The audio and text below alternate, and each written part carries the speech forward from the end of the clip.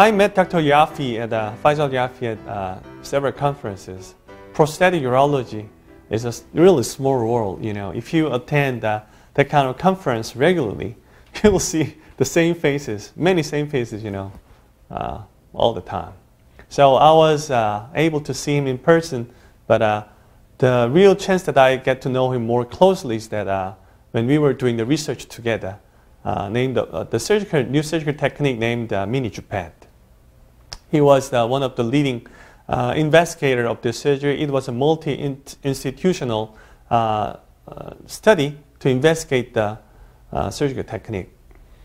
it is for a, condition named the climacturia, which has been explained by Dr. Yafi.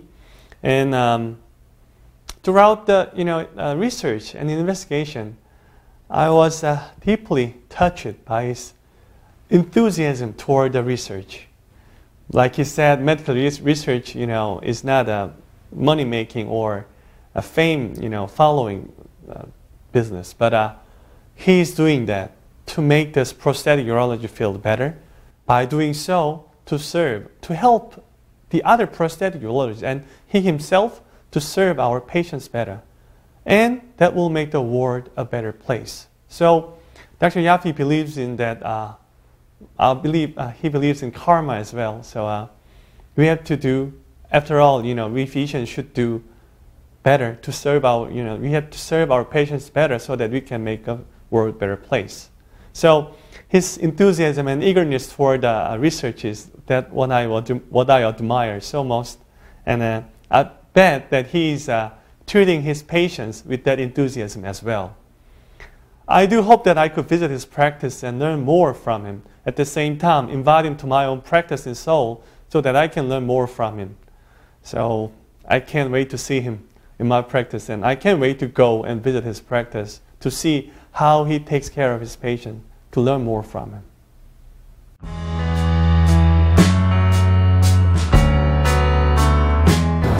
That's a very good question, and really, um, there's a lot of people who treat cancer and you know you cure someone's cancer and then they live longer. But there are a lot of complications afterwards and their quality of life is terrible. They can't have sex they're leaking urine and they're miserable. They live longer you know but they're not happy. And people are living longer now regardless. The population is aging and as people get older you need to be able to afford them a better quality of life. So i found through sexual dysfunction especially erectile dysfunction that this was a means to help people to live a better life um, and you put smiles on people's faces, on the couples, on the wives, you know, on the partners. And that, that's really the reason I went into it. And penile prosthetics, although it is complicated surgery, it is really the uh, sometimes the last and final option for these patients. And it works very well with very, very good satisfaction rates. So I am about halfway across the country. I am in I am in California, so I had to take two flights to get here.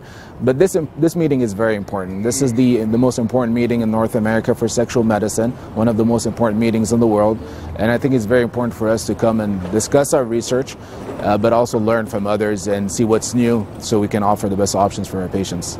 I think that's very important. I think the day you stop trying to learn and stop trying to improve yourself is the day you die as, as, as doctors and as surgeons, we have to continue improving. There are always new technology. Nothing we do is perfect. So whenever we improve, we improve the quality of life for our patients. We decrease the outcome, decrease the complications, and can improve outcomes. So it's always very important for us to continue being hungry, not only to learn, but to improve ourselves and to teach others how to do things better. Definitely. I think when, when you teach others, you also teach yourself. But when you teach others, you force upon yourself to adhere to certain standards and you can't teach others if you don't keep on improving. So I think that forces you as well to get better, but it also allows you to teach others who will also perpetuate what you're doing and allow this, you, this learning to improve the quality of lives of other patients that you can't reach. So there's, there are a lot of reasons. I think that, that the onset of Viagra helped people become a little bit more comfortable discussing ED. But it's still a topic that remains in the bedroom for a lot of people, and there are a lot of cultural reasons, uh, particularly in certain cultures where this is not a topic they like to discuss or are comfortable discussing. It's important that we, as sexual medicine prosthetic specialists, that we teach the audience, teach the, the, the, community that there are options and we can discuss these options with them and that these options work. And I think when patients find out, like with Viagra in the, in the 90s, that these options are available and that they work, they will become more comfortable coming and, and discussing these things and seeking treatment.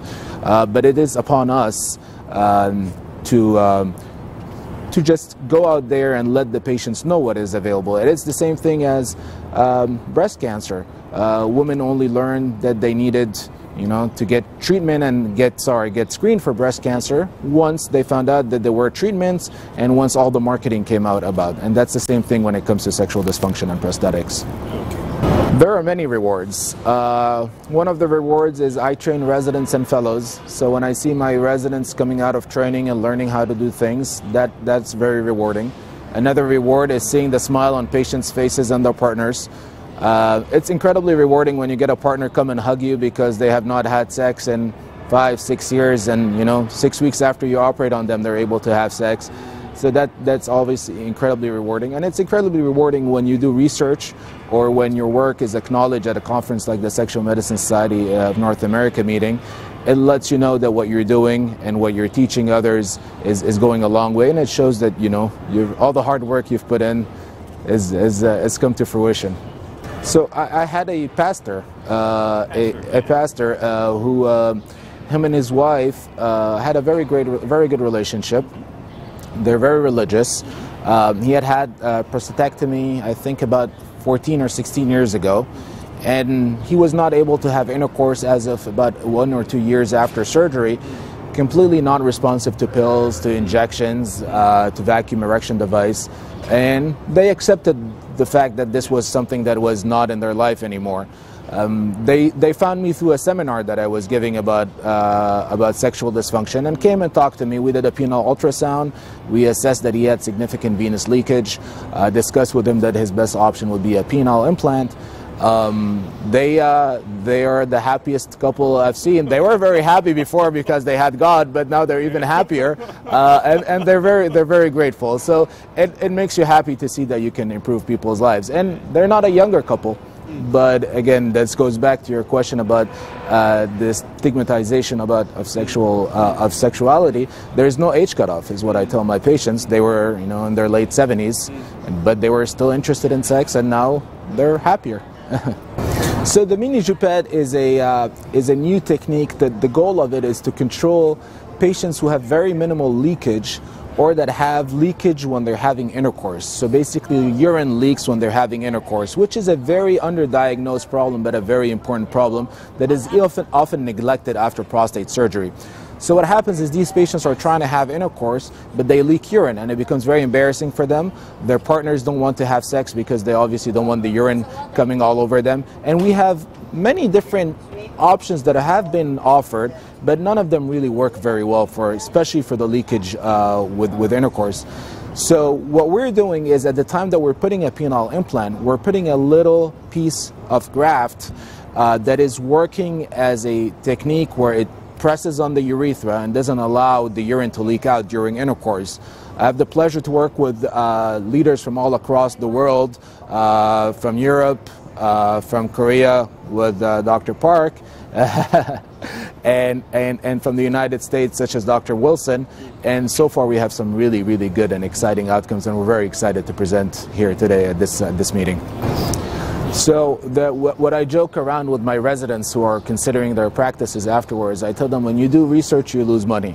when, when, you, when you operate and see patients, you make money. But at the end of the day, uh, life obviously is not all about money. And when you do when you do your research in prosthetics, you're advancing your field, uh, and you're able to teach others and to teach yourself, and to and, and to give better outcomes to your patients. I have a passion for research, um, and I don't think I will ever stop doing research and trying to to, to better our field. And like anything else, there's a lot of room for, for improvement. So there are a, few prosthetic surgeons across across the world that are that are really renowned and very respected, and that are pioneers in what we do. And Dr. Park is certainly one of those those few. Um, Dr. Park has, is revolutionized the way we do prosthetic surgery, and the fact that he is the uh, the the uh, forerunner uh, and the pioneer in terms of doing prosthetic surgery as an outpatient with minimal anesthesia and allowing patients to go home the same day. Um, his, his data and his knowledge is par with the greatest implanters that, that are available. And I have an, it's my honor that I am currently doing uh, research with him on our mini jupette study for climacturia. But again, Dr. Dr. Park is one of the one of the pioneers of prosthetic surgery in the world right now.